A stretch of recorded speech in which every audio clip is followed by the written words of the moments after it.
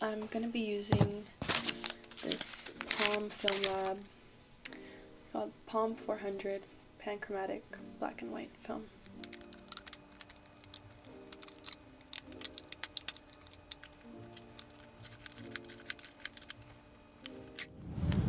Um, I didn't take any photos at the Abraham Lincoln Memorial thing because it's under construction so I didn't really like how it looked but I just took photos facing that um, the monument over here where Spider-Man went up.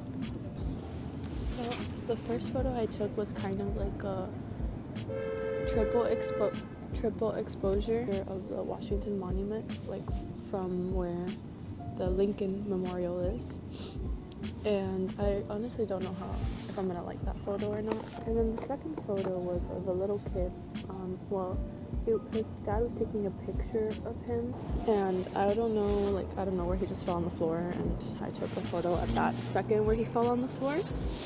And then the third and fourth picture were of the lady and her dog facing the Lincoln Memorial.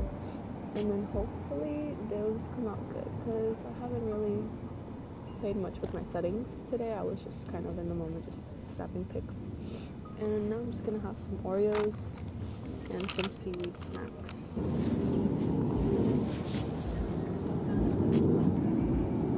Oh, beautiful. Go to the White House. I have no idea where the White House is, but we'll find it. We can do it.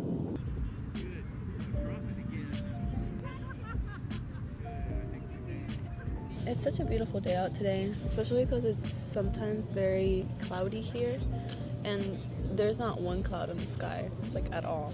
And the weather's great. It's cold, it's freezing, but since the sun is out, it's keeping me a little bit warm.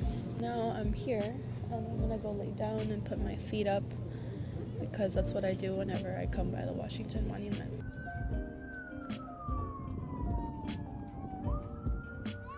As you can see, it's golden hour here in Washington, D.C. Just finished the monument.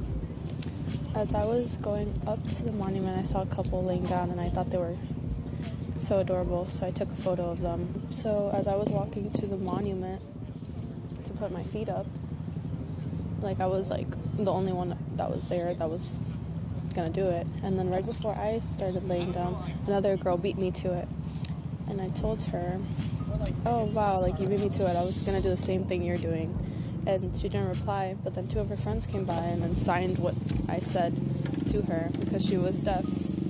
And then the three of them just laid there, and I took a photo of them together because I thought that was very wholesome. It was very cute. They were laughing, taking selfies, and I was just laying there next to them, looking up at the sky. So at the White House, I took a photo of a man taking a photo next to the White House because I'd be doing that a lot. I don't know why or what it is about it, but I love taking pictures of people taking a picture. As I was standing in front of the White House, there was like a little kid being dragged by his mom, it seemed like, and he was crying, and then I just thought it was funny, so I took a quick picture. I don't know how that's gonna look.